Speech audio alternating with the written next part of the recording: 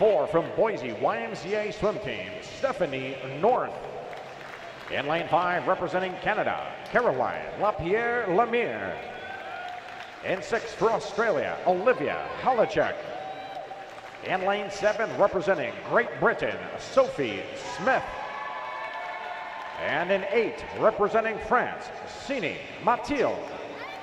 Consolation final, women's 100 meter freestyle.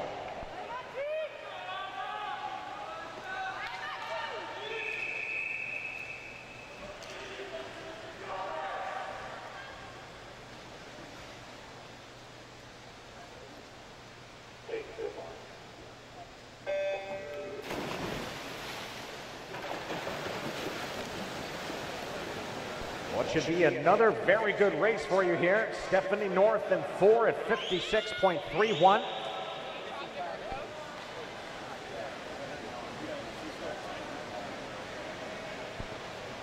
Ladies moving towards the turn here. Let's see who's got the early speed going out. Possibly lane two or eight. Let's check it.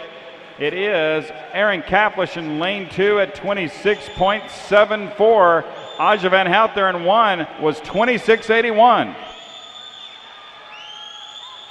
Very tight field now with 25 meters to go. Sophie Smith from Great Britain in seven. She was third at the turn. And right behind her was Cini Mathilde of France in eight.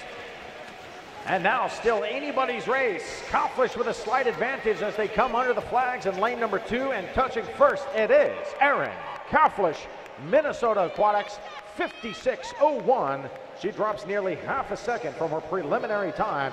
Second goes to Stephanie North of Boise in lane number four, 56.11. And third from Canada in lane number five, Caroline LaPierre Lemire, 56.26.